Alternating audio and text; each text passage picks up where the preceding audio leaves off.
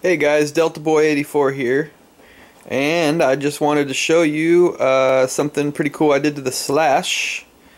So uh, check it out. Well, there it is. Some uh, I added two green strobe lights in the front. I think they look pretty good. And then of course, you know, got the under underglow, and then the the uh, the lights in the rear.